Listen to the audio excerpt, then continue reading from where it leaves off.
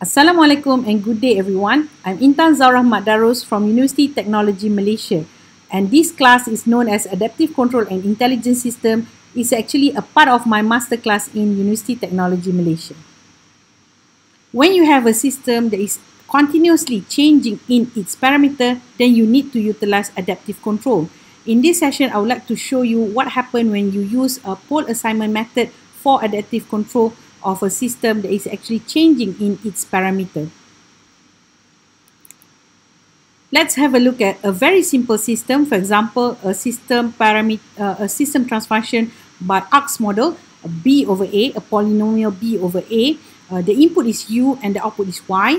This is this system is actually in time domain, so we need to actually uh, sample it so that we can convert the data from continuous data into a discrete data. So we can use 0 or the whole here and with a sampling time uh, t, for example, t equals to 1 plus t1 z minus 1, then we can actually sample these uh, and have the data convert from time domain to zero order hold or discrete domain.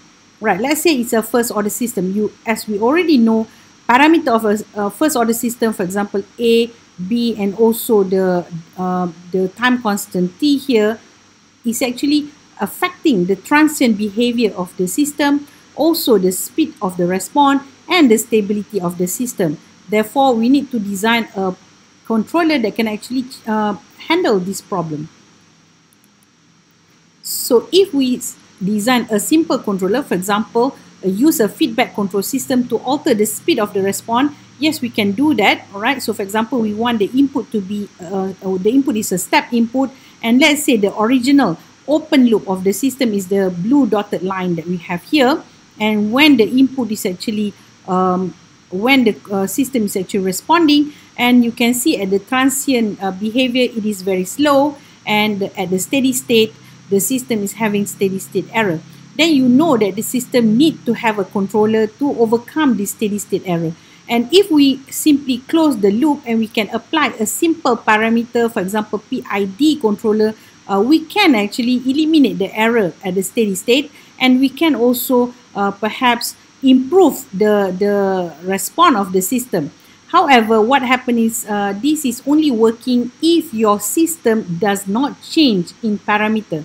Okay, so if your system continuously or uh, keep changing in its parameter, then when you design the controller, the controller also have to be able have to have the ability to update its uh, transfer function, its parameter, so that it can overcome the uh, new um, uh, new system uh, parameter changes in your system. Okay, so uh, for example, when the parameter of the system change, the poles uh, of the system is also changing. So we need to actually design a controller to adapt it by maybe assigning a pole, a specific pole to the system uh, so that it is in uh, reference to the parameter of the system. Therefore, if any parameter changes, the pole, uh, the stability of the system can be assured. And also, we can design a controller so that the response of your system is always correspond to the reference of your system. So, when your system is changing in parameter, the controller should also change so that it can still overcome the problem of a steady state error. So how to do that? Let's propose a simple controller structure. For example, in this case, I'm going to put a controller of H naught in the uh, feed forward of my uh, system. And then I'm going to put a controller of G naught uh, in the feedback of my system.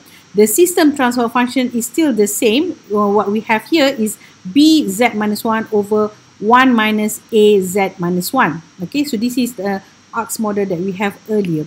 Okay, let's say I would like to design this controller and I would like to have my um, controller to be H naught and G naught. Okay, therefore when we uh, add these two controller into the system, what happens is that the closed loop system equation will change. From the beginning, it was just B over A or BZ minus 1 over 1 minus AZ minus 1. Now, the closed loop system equation have changes. Okay, let's have a look. Uh, how does it change? Okay. So if you look here, um, your input is now equals to ut is equals to negative g naught y plus H naught RT. Okay, so how is that so? You look at if you look at the system just now,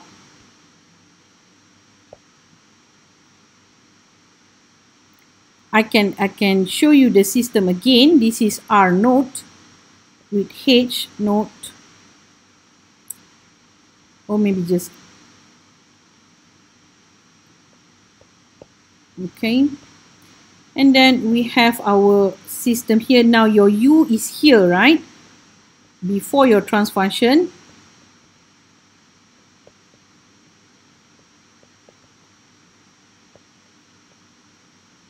and then you have your controller G here. Okay with a negative uh, feedback there. Right? So U is actually uh, R multiplied by H minus Y multiplied by G naught. Okay? Or I can just change that into what we have uh, in the slide. U is equals to negative y g naught plus r h naught okay? So then what happened is that uh, the closed loop system equation is referring to your closed loop transfer function which is I can write in terms of y. Y is equals to um, u multiplied by b z minus 1 over 1 minus a z minus 1. Okay, and knowing that u is equals to this equation here, we can substitute that into your closed loop system equation. That when you're gonna then what you're gonna get is y is equals to b z minus 1 over 1 minus a z minus 1 multiplied by this value that we have here which is minus y g naught plus r h naught. Okay, so if I can expand that, what I'm going to get is that y is equals to negative b with y g naught z minus 1 over 1 minus a z minus 1 and I have another one is plus r b h naught z minus 1 over 1 plus a z minus 1.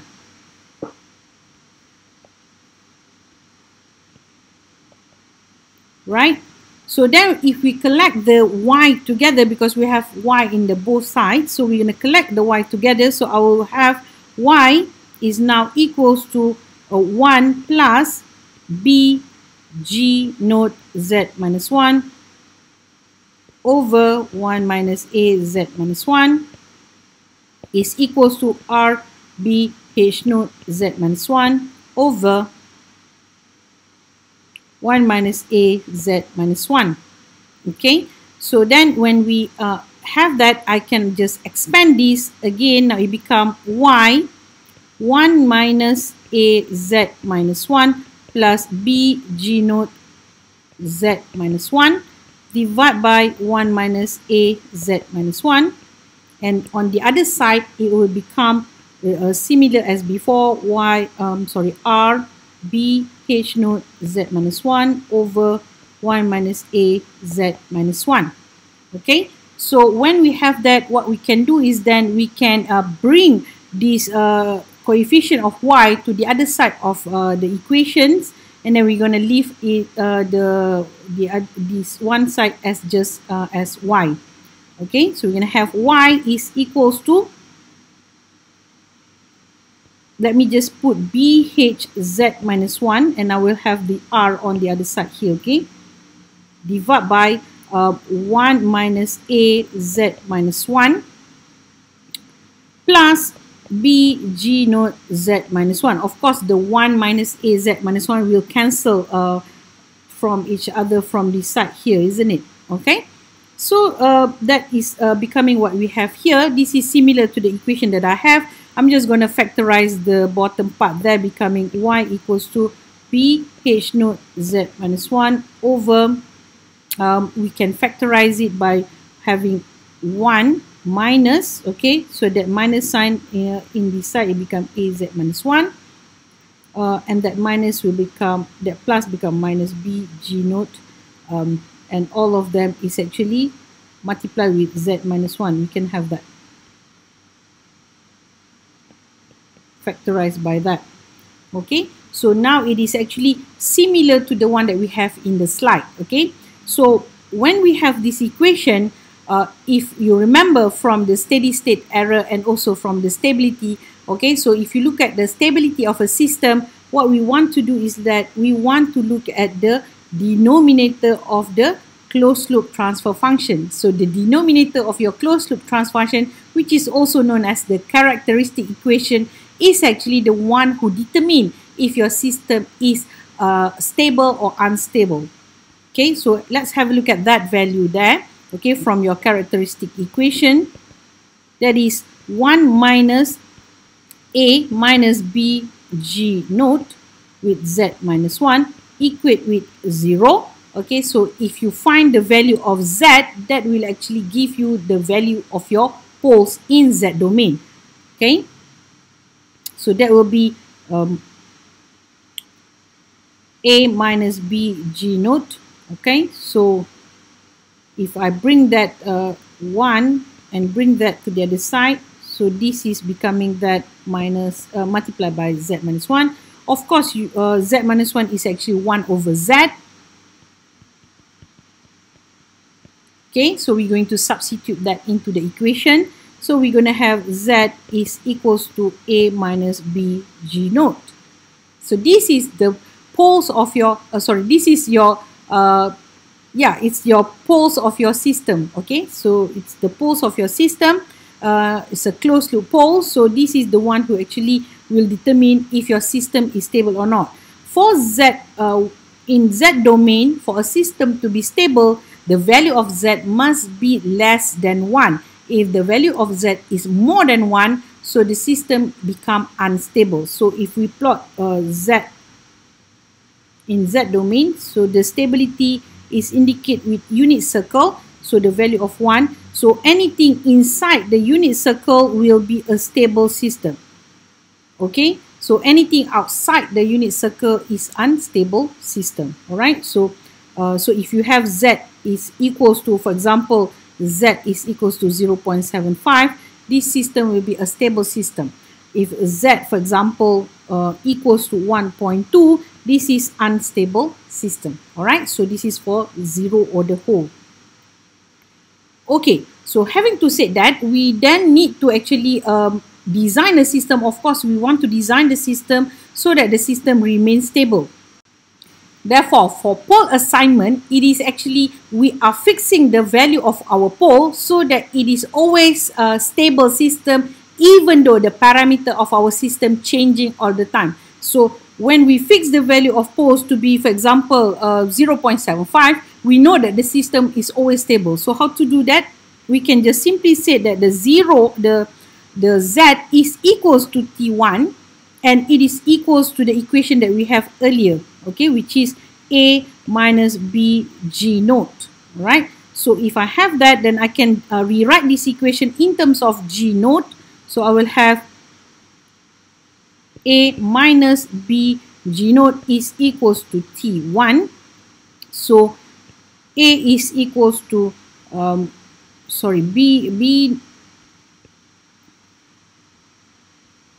b g naught is equals to a minus t1 therefore g naught is equals to a minus t1 over b. Okay?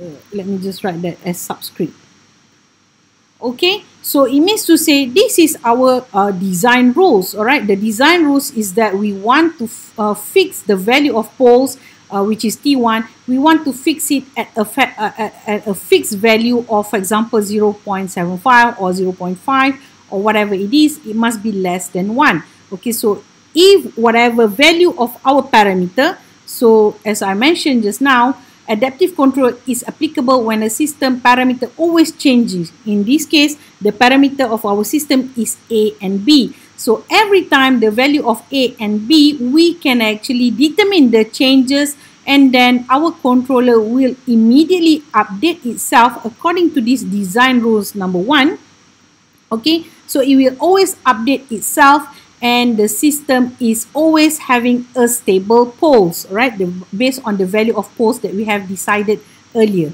okay? So this is the design rules number one. Okay for the design rules number two it is simply because we want our system to be having steady state error zero at all the time. So what does it mean by having steady state error of zero? Is we want our output response y is always equivalent to our reference input. So you have your y. Um, let's say it's a um, ref. Our our signal is uh, our output is y. It is always equals to r. So it means to say at steady state, our response must be equivalent to the input supplied to the system. So the response must be having steady state error zero when the value of your output R is equals to the value of your input R. Okay, so how to do that? We can look back at the transfer function of our uh, system just now, the closed loop transfer function of our system. Y is equals to BH Z minus 1 over 1 minus A minus B G naught uh, Z minus 1 okay? And then we uh, that is actually multiply with the value of r. Okay? So if y is equivalent to r then we if we bring that y uh, r uh, to the other side of r we're going to have y over r equals to b h z, z minus 1 over 1 minus a minus b g naught. I have to put that outside the bracket. Okay so that is equivalent to 1 why? Because we want the input and output to be the same. Y over r if it's similar then y over r will become 1 okay if it's the same right? Okay so when do we want to do that? We want to find out the steady state error at a steady uh, normally as i mentioned in the previous class steady state error we evaluate that when t is approaching infinity or s is approaching zero okay? So for z or the whole it is actually happen during uh, when z is equivalent to 1 okay? So we want to do that. So this is uh, happening when for example if it's in time domain t when t is approaching infinity or if you talk about in s domain okay? When you are talk when, when you are finding the steady state error of your system it is happening when s is equals to 0 or when you talk about z it is when z is approaching value of 1 so that is when you want to measure your steady state error. Okay? So if i put the value of z equals to 1 into my equation here what i'm going to get is that y over r is equals to just b h with z minus 1 uh, is now becoming 1 okay? Over 1 minus a minus b g naught. Also when I have that z minus 1 is equals to 1. So this is all of them is equivalent to 1. Okay. So from there, we can then rewrite in terms of H naught because we do not know what is the value of controller to be given to the system in H naught. Okay, so we need to actually find out what is the value of H naught. So if I rewrite this equation, I will have B is equals to, uh, sorry, BH is equals to, I can bring this uh, to the other side. So it becomes 1 minus A minus B G naught. Okay. And that H naught is equals to 1 minus A minus B G naught divided by B. Okay. So that is your value of your uh, controller H naught. So if you uh, utilize this um, uh, using this derivation, you can see that the value of your H naught will always ensure the system is having your um, reference signal, uh, your system output will be uh, always equivalent to your reference signal R, okay? So at the same times, you are ensuring your system is stable for uh, using your design rules number one. For design rules number two, you are ensuring that your steady state error is zero at all the time. Okay, so if you look at the value of H naught here, the H naught is actually as a function of A and B. What is A and B? A and B again is actually the parameter of your system. So that is why in adaptive control, when parameter of your system is actually changing, when you design this kind of controller, your controller also will update itself no matter whatever your, uh, how many times your transfer function, your parameter of system A and B changes, your controller will always update itself so that the parameter of your controller, H naught and G naught also changing uh, with uh, the changes of your parameter of system. Okay, so that is why we can write H naught as a function of A and B. Okay, so this is your design rules number two.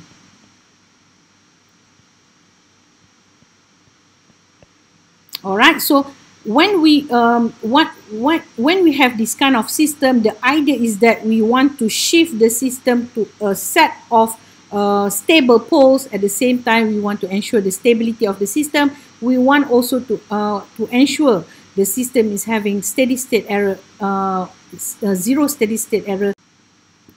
So, in summary, pole assignment is what we do is actually uh, we are shifting the open loop poles to a desired uh, closed loop poles and then we set the desired closed loop poles so that the system is always a stable system. We can also determine the desired poles by uh, find out what is the transient response that we want, what is the frequency shape that we like, and if the system is uh, should be remain stable of course okay so based on this set of uh, desired poles we then design our controller according to the design rules number one that we have earlier and then we are utilizing the steady state error to make sure the steady state error is zero we are utilizing the design uh, rules number two that we have just now.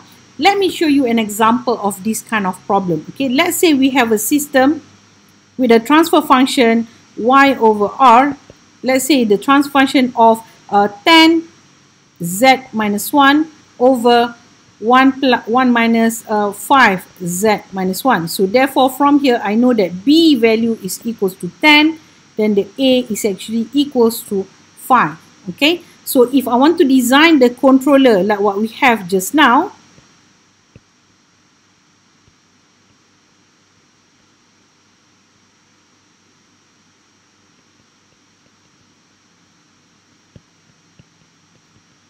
okay so and the closed loop during the closed loop we have another controller which is our G naught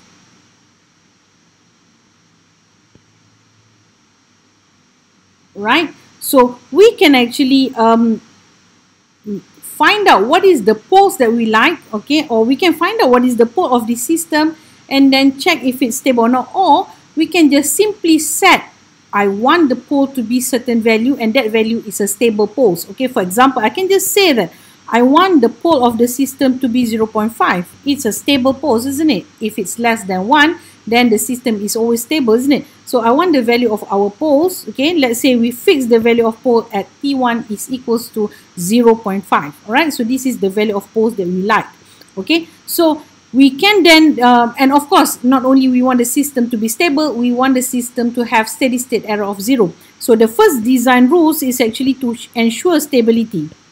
Okay, so for a stable, if you look again at the design rules number one, okay, so your G naught value should be, uh, G naught should be uh, just A minus T1 over B. Okay. And then in this case, you just simply put the value of your A, which is 10, minus your T1, which is 0 0.5, divide by the value of your B. Oh, sorry, A is not 10. A is 5, isn't it? Okay, the value of A is 5. Okay, minus 0 0.5. Uh, 5 minus 0.5 which is the value of your poles and then b is the value of your uh, parameter b just now is 10 okay so from there you can just have 5 minus 0.5 which is 4.5 4.5 divide by 10 it's 0.45 so this is the value of your transfer function uh, a controller g node that you have on your feedback just now okay so this is for design rules number one Okay, what about design rules number two? Design rules number two is to ensure that your system is always stable. So I have this now y over r must be equals to 1, isn't it? To ensure stability of the system, uh, to ensure the steady state error of the system is uh, always um, 0. Okay, so from there I have my design rules number 2, h naught is equals to 1 minus a minus b g naught, okay, divided by the value of b. So if you substitute all the value, you're going to have 1 minus a a is equals to 5 minus B. B is equals to 10. 10 multiplied by your G naught. G naught is 0 0.45. Okay. So then the whole lot is divided again by the value of B which is 10. So what do we have there? I have 1 minus um, 10 multiplied by 0 0.45 is 4.5. 5 minus 0. Point, uh, 5 minus 4.5 is 0 0.5. 1 minus 0.5 is 0.5 so 1 minus 0.5 over 10 okay? So what do we have there? We have 0.5 divided by 10 so it becomes 0.05 so this is the value of your h naught this from your design rules number 2 so if i put that in my control system here all right the value of h naught and g naught then I know that the system, no matter, uh, uh, the system is always uh, stable and the system is always having steady state error of zero. Okay, so if I put in a loop, I'll make sure that the loop will have my value of controller red, my controller red based on A and B. Why? Because when I have uh, the value of A and B changing, okay, I can determine the value of A and B uh, every time it's changing, I can determine it using least squared or recursive least squared. And I will get the new value of A and B every time it change. Okay, and then I will update my value of controller immediately within the same loop when I actually determine the value of changes in the parameter of my system. So by doing this, I can ensure that the system is always stable and the steady state error is always zero. As conclusion to this pole assignment, uh, derivation of pole assignment method, there are two design rules. The first design rules, as you can see in this slide, is uh, to ensure that the system is always remain stable. We will assign the value of a stable poles to the system and then whatever the parameter of the system changes, whenever it changes, the value of your controller will be updated and then the system will always remain stable. Number two, the design rules number two is to ensure that the stability of your, uh, the steady state error of your system is always zero. So no matter how many times your transfer function changes, the parameter of your system changes, the value of B and A, as you can see, if it changes, your controller will always update its value according to these changes. So these two design rules is actually what we have for pole assignment. So I will actually uh, continue this class later on to talk about pole assignment with regulator.